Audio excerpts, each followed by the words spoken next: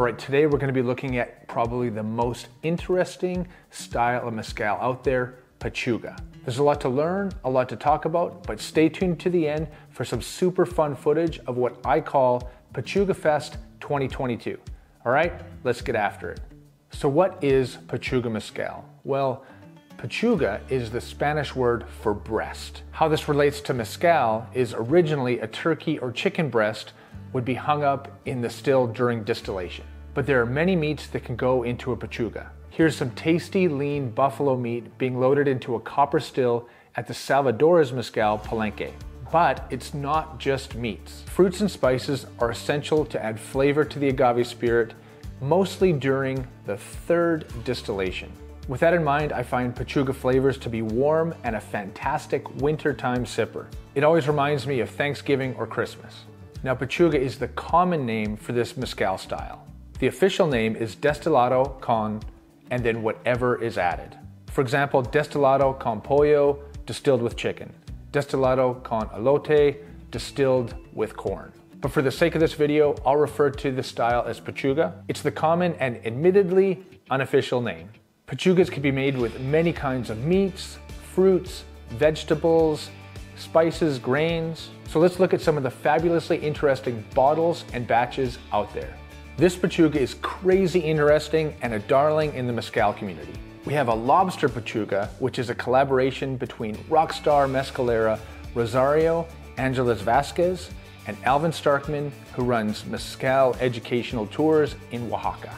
Rosario's Palenque is in Santa Catarina Minas, Oaxaca, famously known for its clay pot distilled mezcals. There's been two different batches. The first one is lobster, banana, pineapple, mango, and cinnamon. And here we have Rosario drizzling maple syrup on the lobster as she prepares the clay pot for the distillation. The vapors from the distillation rise up and they condense on the meat that's suspended or hung up in the still, and then it drips down, and then the different cuts are blended into mezcal. Another batch uses lobster, red fruits, and Canadian ice wine.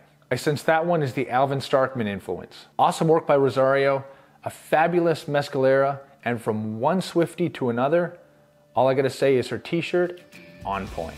Or I'm gonna go over some great bottles out there in the market. We got the Salvador's Buffalo Pechuga, which I talked about earlier. I've been to their Palenque twice. Lalo and his crew in Tlacolula, Oaxaca are always welcoming. Their Buffalo Pechuga is fantastic, and I've been told they're working on a few other ones for next year. I'm down for whatever they put out. Now we have the Tosba Pechuga made from a wild turkey breast. I got a lot of love for this brand. I got to meet Edgar and Elisandro, the guys that run it, in their Palenque earlier in the year in the Sierra Norte region of Oaxaca. If you see their turkey pechuga out there, give her a try. Another great one out there on the market is the Cinco Sentidos Pechuga de Mole Poblano. This is a pechuga with chicken and a poblano pepper mole. And I find you can really pick out the dark chocolate sweetness and that awesome spiciness in the mole. This Cinco Sentidos Pechuga, a must try. Next up, Vago Elote, made with corn. This would be a vegan pechuga and an absolute classic.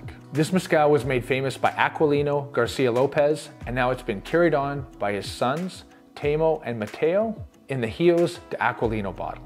All of the mezcals I've talked about so far are made in Oaxaca, with the exception of the Cinco Sentidos Mole Pechuga. That's made in the state of Puebla, just north of Oaxaca. The base mezcal for Pechugas in this region is typically espadin or agave angustifolia. But now I'm going to talk about the state of Michoacan. They have some of the craziest combinations of Pechugas out there. First from Michoacan, we have Isidro Rodriguez, who's a veritable mad scientist when it comes to Pechugas. We have duck, fish, rooster, apples, and other fruit. What, what's your fruit? Tejocote. Tejocote. That one. Isidro didn't have any bottled up in his local brand, but that didn't stop me from taking a liter back with me in plastic. This is a damn good mezcal made with agave and a cadence, and the combination of flavors really work. Up next, we have some of Michoacan's finest, Don Mateo. Emilio Vieyra, the maestro mezcalero for Don Mateo, makes some fine mezcals in his vinata in Pino Bonito, Michoacan. But this one is a special batch made by his mom. Ready for this one? This is distilled with turkey, deer, rabbit, and iguana. Add to that the fruits and spices and also the pine they use in the area to make the mezcal. They all make this pechuga sing.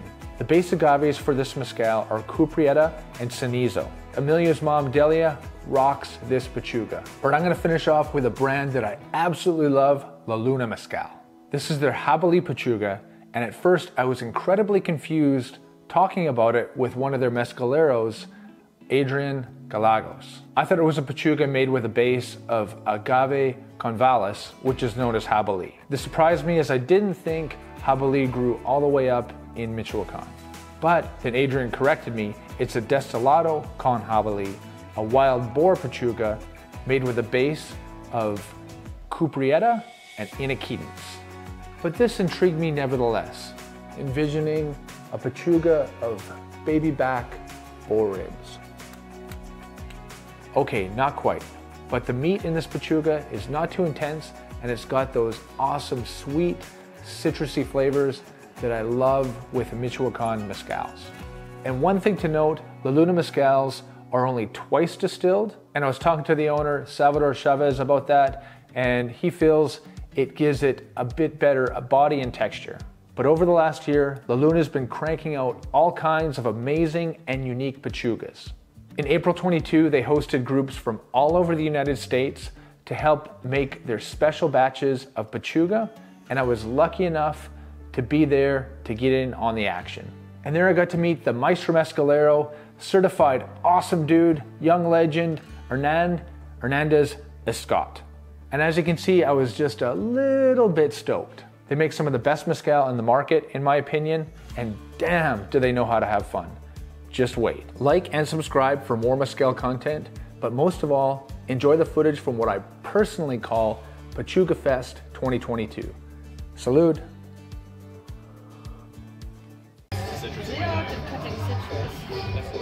Does Andy already cutting scissors? You know it's not me.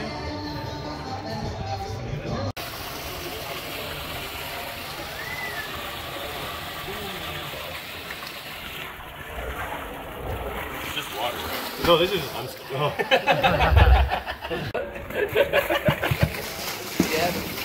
Vertical también es más.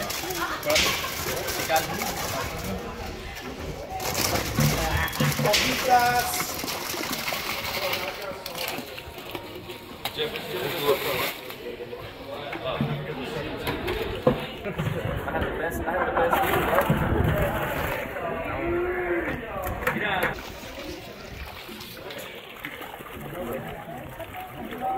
You want to stir a cocktail? Stir this one. That looks so tasty. Put your back into it, brother. I can't wait. I can't wait.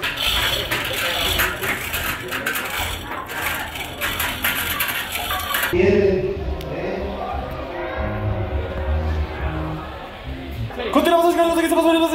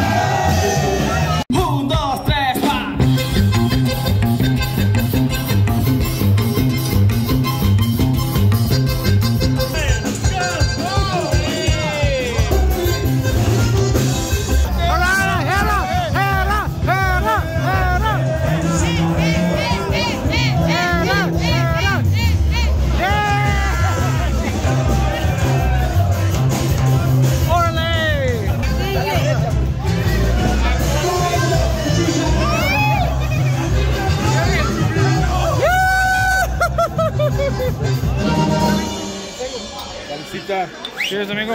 Saludcita. Cheers, Lucas. Ah!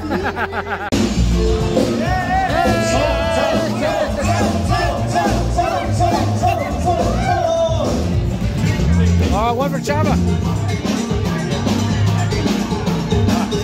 All right. Salud, amigo.